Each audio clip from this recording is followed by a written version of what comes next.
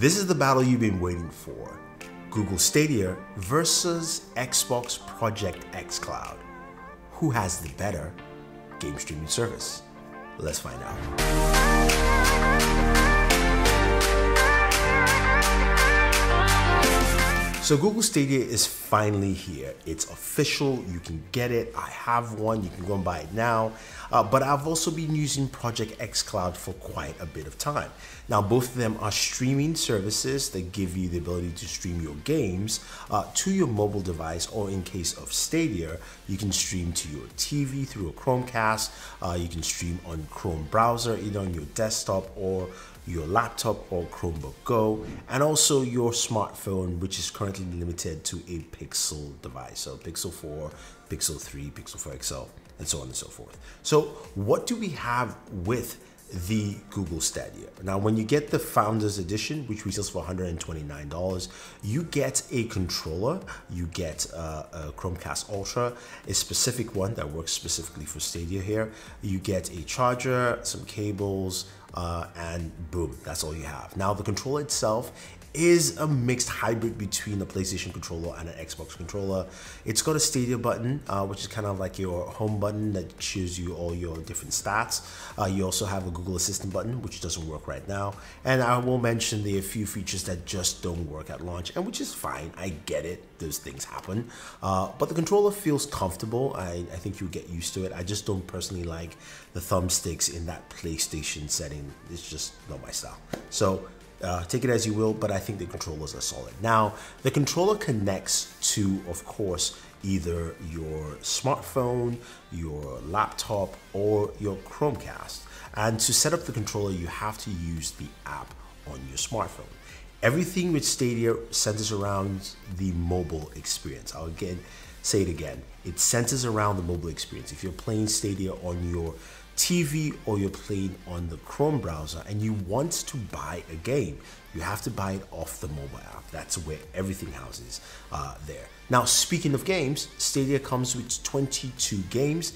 You get two games free, and the two games I got were Destiny, uh, Destiny's uh, 2, kind of like uh, special edition, and uh, um, Samurai Shodown.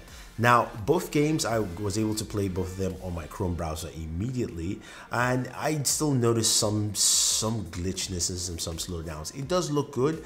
I'll say the games look at about 1080p resolution max, and especially playing on the TV where uh, Google promised 4K 60. I have not got 4K 60 yet. Tomb Raider looks the best, but it also looked like a high 1080p game. Now, speaking of some other features that, of course, you have with Stadia is the fact that, yeah, you can uh, play those games and you can switch from uh, your TV to your, your Chromebook to your phone instantaneously. So uh, playing uh, uh, Tomb Raider, Shadow of the Tomb Raider on my TV, uh, once I switched over to my Chromebook Go, it paused on the TV and I just have to continue on my Chromebook Go. So it's a very simple, seamless experience. Now, playing on your TV, you're using the remote control, uh, the funny thing about it is that that's the only time you have a wireless setup to play of course, uh, Google Stadia. If you're playing on a smartphone or you're playing on your PC, it is a tethered experience when you're playing on your smartphone or if you're playing on a Chrome browser. Now, a couple of things to mention here before we take a look at what Project xCloud does differently here, right? So, what about latency? How how do games run? How does it feel on Stadia? I will tell you my experience has been a little bit mixed. My internet speeds are 75 up and 75 down, which should be fine according to Google specs. And I would say when playing games like Mortal Kombat 11, uh, there are certain points where I had just random slowdowns that happen, especially while playing a fighting game, can be annoying. Same thing also playing with Destiny. It was really twitchy with the controls. It was better with mouse and keyboard than with the controller, even though I was tethered in. Uh, so that's something to take note. Uh, but I still felt some of the twitchiness there. Uh, Tomb Raider actually ran probably the best out of all the games there. Now, when you look at Project xCloud, we've seen that. I have a video about that. You can go check it out. But what Project xCloud brings to the table is the ability to stream games from Microsoft Server directly to your smartphone. xCloud is only limited to mobile devices and on the Android ecosystem for now. Microsoft has said that it will expand to, of course, the iPad and more devices as they move along. But with Cloud comes with 50 games. The process is pretty simple. You sign in with your Xbox account and you've got access to a ton of games. And Microsoft said they will be adding more games as months go ahead. So that's already a clear difference between uh, Stadia, which has two free games, and you have to pay for games. And most of those games are much older than what you see already from Project xCloud off the bat. The extra benefit with Project xCloud is you can stream directly from your Xbox console. So if you're like me, you have an Xbox at home, you can go ahead and switch to Xbox streaming and stream directly from your Xbox at home all the games you have on your Xbox. Now, if you also have Xbox Game Pass, then you have a huge library to stream from as well. So you have the ability to stream games that are from Game Pass to your phone and play anywhere.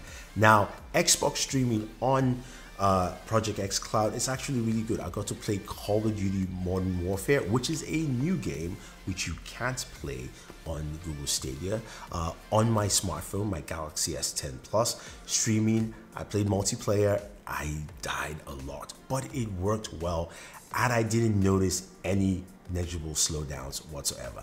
Now, just to let you know, Project xCloud is set at 720p on the mobile experience. That's what Microsoft has said, but it looks pretty good. I also got to play some Far Cry 5 as well, and that handled quite well.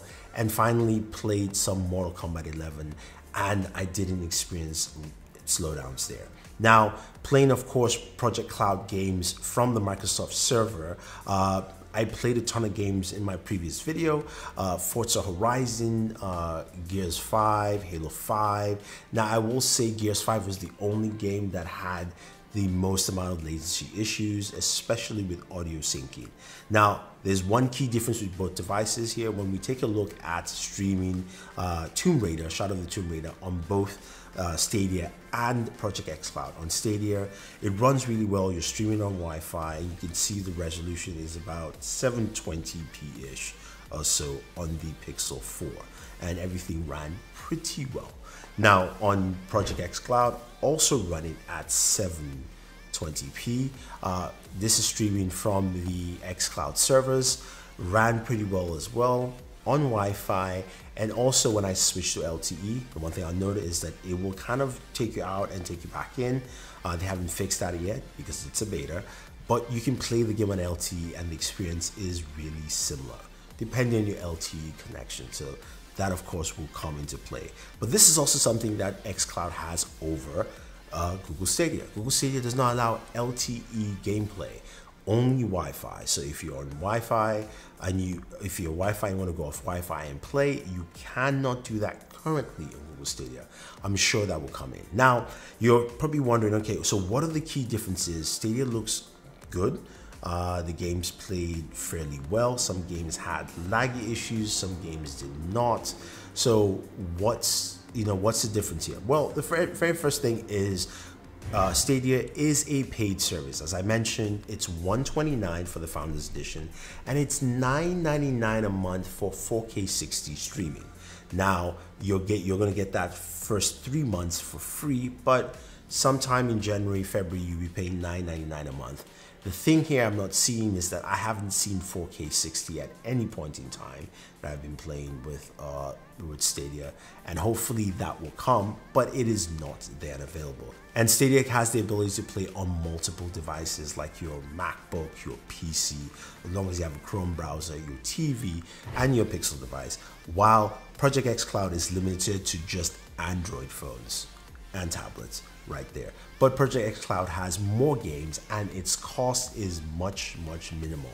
As long as you have Xbox Live Gold, which is cheaper than 129, you do have the ability to go ahead and start playing Xbox games, which are more than what you have with Stadia. So there you have it. I think overall both services are good.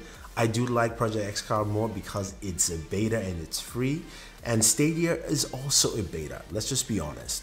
This is not a full-fledged service. Uh, I know it will get better, but right now Google is lagging behind than a beta service with its full-fledged service. So hopefully that changes. But what are your thoughts, guys? Who has Stadia? Who also has uh, Project xCloud? What are your experiences? Let me know. If it's something different, if you think I'm wrong, if you think you've experienced something entirely, you know, out of this world, leave your thoughts down below. Don't forget to like and share, subscribe to the channel, and always enjoy your entertainment.